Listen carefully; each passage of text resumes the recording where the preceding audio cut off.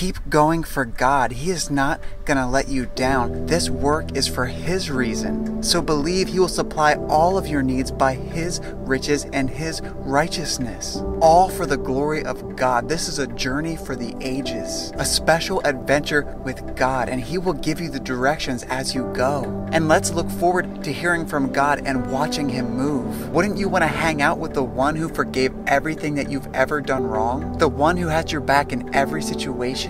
This is your chance right now. Don't throw away your opportunity. God is willing to save anyone who will come to Him and believe, all the way up until Judgment Day. But don't you also want to live as one of His disciples? To become more disciplined and free in the faith? The more that we let God's Spirit control us, the better decisions we start to make, the more we can enjoy God, others, and ourselves. God's love can be tough sometimes, but He will never let you down. My prayer for you today is that you would fear God more than your circumstances. And if this message has encouraged your day, remember to follow, hit the like button, comment amen, and share to a friend to encourage their day too. God bless.